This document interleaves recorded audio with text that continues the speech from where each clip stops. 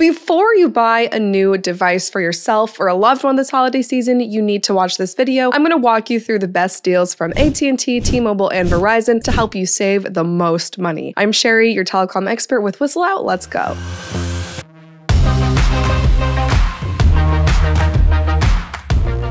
Okay, right off the bat, you do need to know that you can technically get a free phone with Verizon, T-Mobile, and AT&T, but there are some specific qualifications for each of them. So let's go over AT&T first to see how you can get a free or heavily discounted iPhone 14 Pro or Pro Max.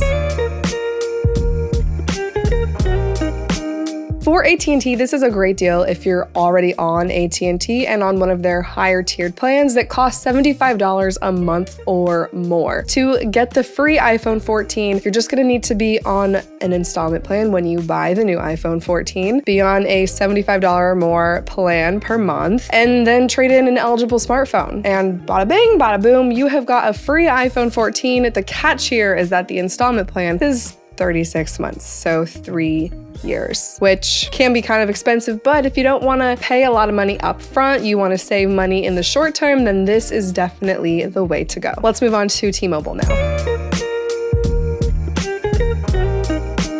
I don't like T-Mobile's deals as much because it requires that you add a new line, and the only way I could suggest this offer is if you're looking to switch to T-Mobile. And if that's you, then great. There are some great deals. The other option might be if you're looking to add a new line for one of your children, opening up a line, or grandma and grandpa are joining your family plan, or somehow you're trying to add a line to your account. Otherwise, this is for switching. But when you add a new line on T-Mobile and you sign up for a 24 month installment installment plan and trade in an old device, you will get the iPhone 14 for free. So, not too shabby. You also have to be on a qualifying plan. That's generally Magenta Max at $85 a month, which makes this not the best deal, not the best bang for your buck, but again, will save you money in the short term if you don't want to pay a large amount of money upfront to buy the phone. This will be spread out over two years and free altogether. Another deal from T-Mobile is half off the iPhone 14 when you just trade in your old phone. You don't need to open up a specific line on a specific plan. You don't even need to add a line, but you do have to trade in a phone and you only get a maximum of $400, where with other carriers, when you do this specifically AT&T, you would get a free one. So again, I can't really recommend this unless you are already on T-Mobile and want to stay with T-Mobile, then this might be a great deal for you. Lastly, this is a BOGO deal. So BOGO is buy one, get one, except for it's not a full get one free, you're only going to get $700 off the second device, which would leave a little bit of money to pay after the fact. But if you want to open up two new lines on T Mobile, you can buy one, get one $700 off, which is a decent deal. Honestly, T-Mobile's deals are the worst of all of them. I don't recommend them. Would highly recommend going with AT&T or Verizon. And speaking of Verizon, let's take a look at their deals, which generally speaking are kind of expensive because Verizon plans are really expensive, but right now the iPhone deals are the best over T-Mobile and AT&T, so we'll take a look at those.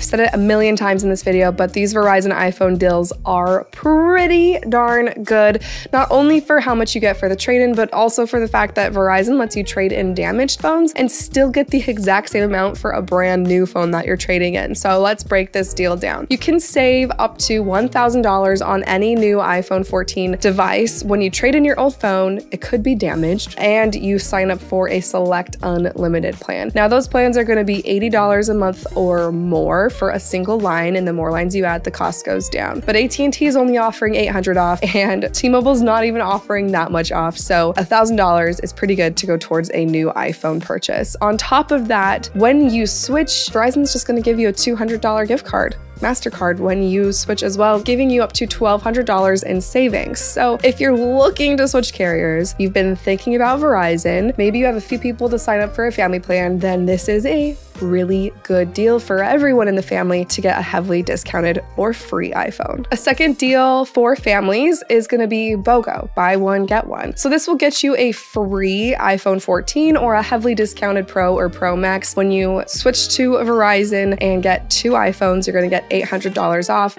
Again, though, Verizon's going to give you a $200 MasterCard gift card when you switch, giving you a savings of up to $1,000, which is again, really really great compared to the other major carriers. Keeping in mind both these deals require you to sign up for a lengthy installment plan that is 36 months or three years, so you will be locked in for that amount of time.